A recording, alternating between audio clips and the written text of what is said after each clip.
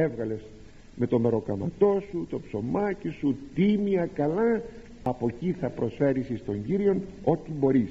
Και κάτι ακόμα και απάρχου αυτό από σον καρπών δικαιοσύνης. Απάρχου την απαρχή σου το ξεκίνημά σου την αρχή σου. Από τα έσοδα σου την από τον Κύριον.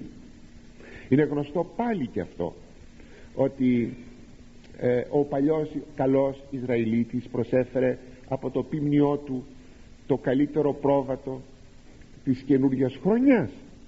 Προσέφερε το σιτάρι από την καινούργια χρονιά. Εξάλλου η μέρα της Πεντηκοστής ήταν η απαρχή και προσφορά στο Θεό των νέων, νέων σιτηρών των νέων καρπών. Αυτό ήταν η Πεντηκοστή.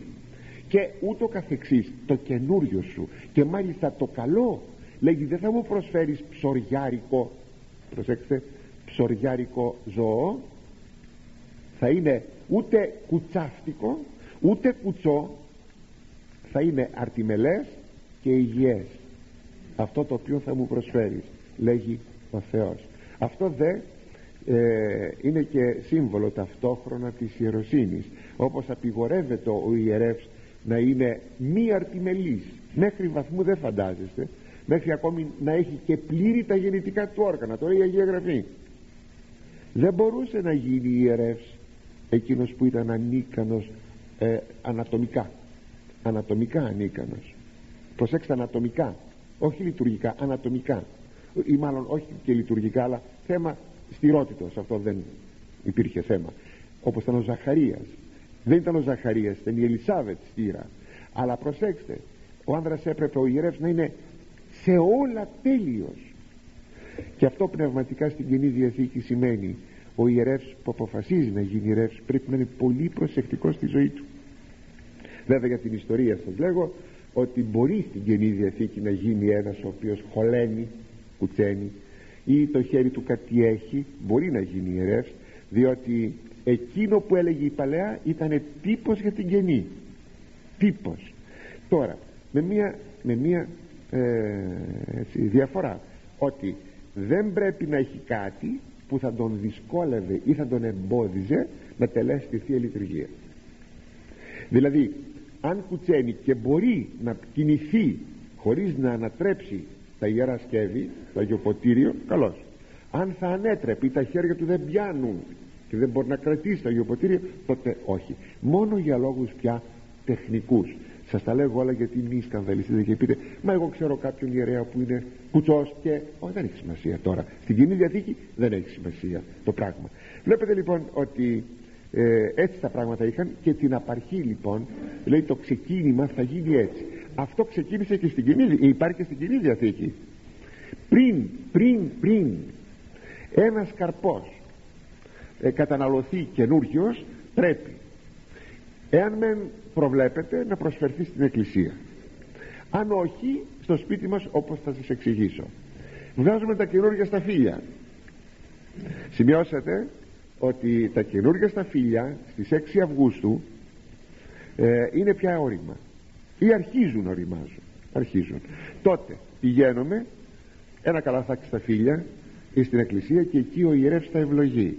Τι χαριτωμένο. Μια φορά έτυχα σε ένα χωριό 6 Αυγούστου συγκεκριμένα στο Ριζόμιλο και είδα εκεί στο Σολέα καλαθάκια με σταφύλια και υπάρχει ειδική ευχή για την απαρχή των σταφυλιών. Αν όμως προσέξτε με αν όμως έχουμε μια κλιματαριά μόνο ή έχουμε μια βρικοκιά, μια σικιά τότε ακούστε με ή ντοματιές, μελιτζανιές, πιπεριές ό,τι έχουμε αυτά που μπορούμε να βάλουμε στον κήπο μας. Τότε το πρώτο σίκο που θα φάτε πριν το φάτε αφού βεβαίως το τραπέζι μας πάντα το ευλογούμε ε, αλλά λέω τώρα έτσι κάποιος έτσι, μπορεί να κόψει ένα σίκο το καινούργιο να το φάει να κάνει το σταυρό του. Το λέγουν οι ασκητές πατέρες αυτό. Να κάνει το σταυρό του. Να δοξάσει το Θεό γιατί αξιώθηκε να φάει πάλι σίκα. Πέρασε μια χρονιά να φάει πάλι σίκα. Και να το φάει.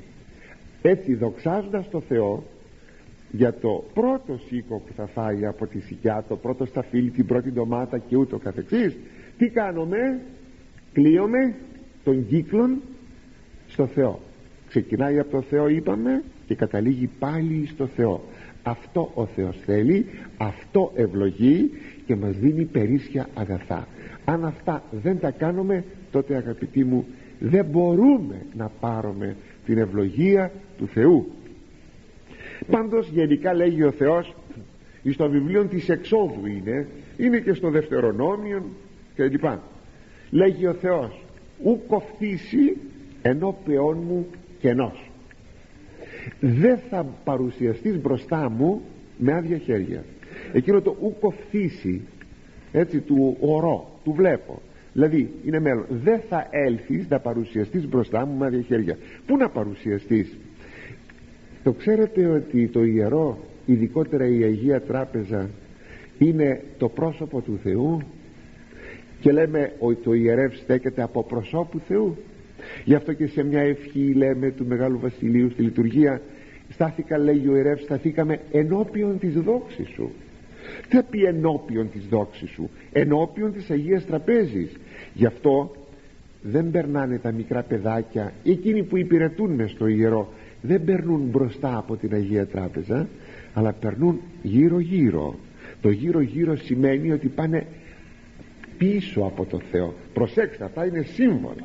Ο Θεός δεν έχει ούτε τον μπροστά ούτε πίσω ούτε πλάι ούτε πάνω ούτε κάτω πανταχού παρόν είναι κλπ. Αλλά τηρούνται σε αυτά τηρούμε την ευλάβεια. Και τηρούνται στην ευλάβεια τότε αποσπάμε από το Θεό ευλογίες. Έτσι δεν πηγαίνουμε από μπροστά γιατί είναι από προσώπου Θεού. Μπροστά προσκυνούμε μάλιστα ο ιερεύς πρέπει να είναι ασκεπής. Το γιατί πρέπει να είναι ασκεπής γιατί τον έκανε ο Θεός κατ' εικόνα δική του εις δόξαν του Θεού. Η γυναίκα πρέπει να είναι σκεπασμένη διότι είναι εις δόξαν του ανδρός βλέπετε τη διαφορά. Ο ανήρ εις δόξαν Θεού η γυνή εις δόξαν του ανδρός της του ανδρός. Υπάρχει διαφορά. Έχει πολύ σημασία. Λοιπόν εκείνο το μπροστά μου που λέει ο Θεός αυτό είναι η Αγία Τράπεζα το ιερό και ειδικότερα η Αγία Τράπεζα είναι το μπροστά του Θεού. Είναι τα μάτια του Θεού.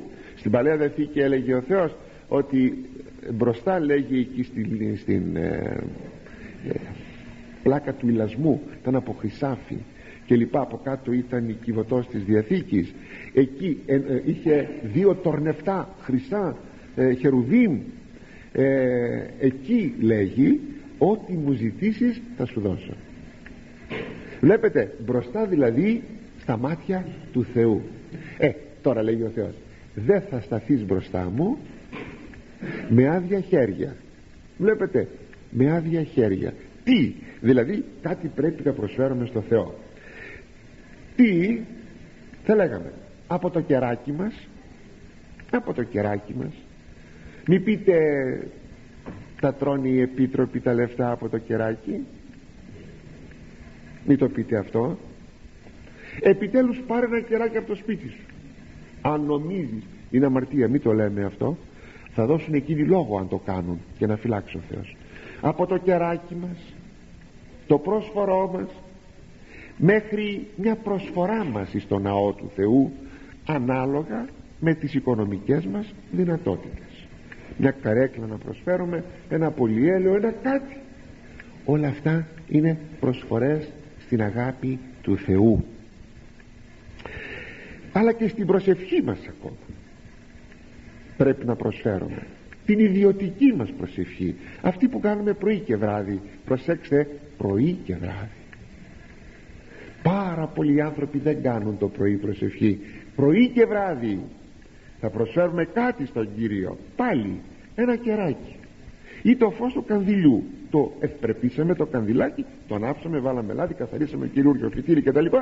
Μέχρι το θυμίαμα μέχρι το λουλούδι μας ένα λουλούδι. Και ξέρετε το λουλούδι δεν το μυρίζουμε. Θυμάμαι μικρός μου το έλεγαν μη το μυρίσεις μου έλεγαν θα το βάλεις στο εικόνισμα γιατί; Ανήκει στο Θεό. Αν το μυρίσεις το κάνεις δικό σου. Και κάτι που ανήκεις στο Θεό ανήκεις στο Θεό. Μη το μυρίσεις. Πιστέψτε με μέχρι τώρα το τυρό. Μύρισα ένα λουλούδι δεν το βάζω στις εικόνες. Δεν θα το μυρίσω. Λοιπόν μέχρι ένα λουλούδι. Να το βάλουμε εκεί στην εικόνα είναι μια προσφορά ότι δεν πρέπει να βρεθούμε με άδεια χέρια μπροστά εις τον Θεό αν αγαπητοί αυτή η προσφορά του πιστού είχε συνειδητοποιηθεί από όλο το λαό μας τότε καταλαβαίνετε ότι οι τόποι λατρείας του Θεού οι ναοί μας δηλαδή θα ήσαν ευπρεπέστατοι και άξιοι τόποι δοξολογίας του Αγίου ονόματος του Θεού. Δεν έχει όμως δυστυχώς έτσι συνειδητοποιηθεί από όλους μας.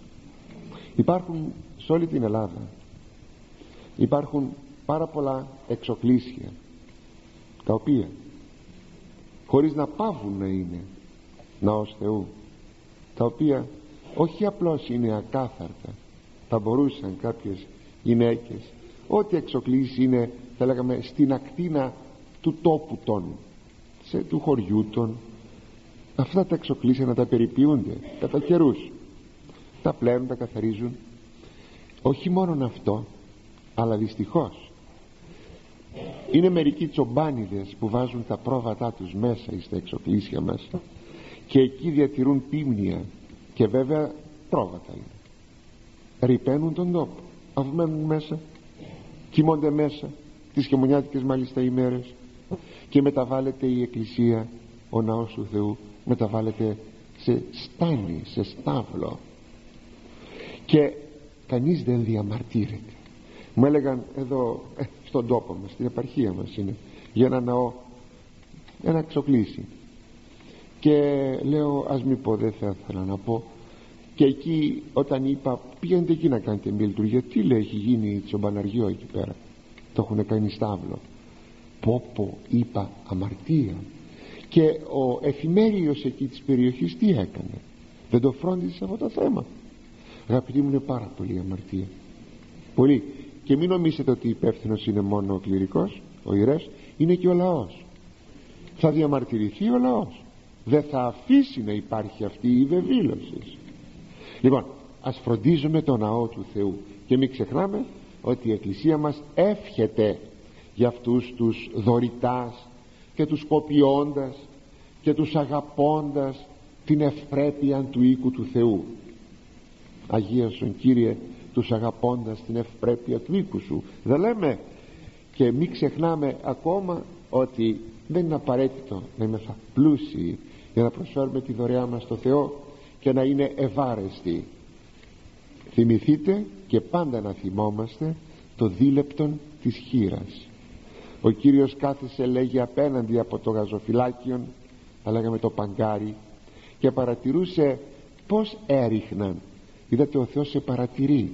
Σε παρατηρεί πως ρίχνεις πόσα ρίχνεις ποια είναι η πρόθεσή σου που ρίχνεις. Γιατί είναι καρδιογνώστης. Και είπε ότι αυτή η χείρα εν τω μεταξύ εκείνη έριξε ένα δίλεπτον και το δίλεπτον είναι το ένα πέμπτον της δεκάρας ή το ένα πεντηκοστόν της δραχμής. Αυτή η χείρα και χείρα έριξε λέει περισσότερο από όλους γιατί έριξε ολόκληρη την περιουσία της. Δεν είχε άλλα χρήματα μόνο ένα δίλεπτο είχε. Γι' αυτό εδώ βρίσκομαι δείτε και τη συμφωνία της γραφής που λέγει τι είπε η Παλαιά Διαθήκη τι λέει η Σοφία Σιράκ; Καταξίαν ό,τι μπορείς. Ο Κύριος τι είπε όλη την περιουσία της. Δηλαδή, δηλαδή αυτή η αναλογία. Συνεπώς ανάλογα με τις δυνάμεις σου θα προσφέρεις και στο έργο του Θεού. Ύστερα μην ξεχνάμε ότι δεν είναι μόνο ναός. Είναι και η φιλανθρωπία την οποία ασκεί ο ναός. Είναι και το ποιμαντικό έργο το οποίο ασκεί ο ναός η ενορία δηλαδή ε, τα κατηχητικά σχολεία άλλα πράγματα που ακούει το λόγος του Θεού και θέλουν αυτά μια συντήρηση θέλουν θέλουν. Ή ακόμα η Ιεραποστολή έξω από τον τόπο μας και εκεί θέλει χρήματα. Βλέπω κάποια φορά εκεί στις ε, δωρεές των ιεραποστολικών περιοδικών μας και βλέπω και λαρισαϊκά, λαρισαϊκά ονόματα. Και να σας πω την αλήθεια μου χαίρομαι. Βλέπω. Ε ξέρουν εκείνοι είναι κάποιοι. Και το χαίρομαι πάρα πολύ. Λέγω να ενθυμούνται, ενθυμούνται και την εξωτερική λεγόμενη εξωτερική Ιεραποστολή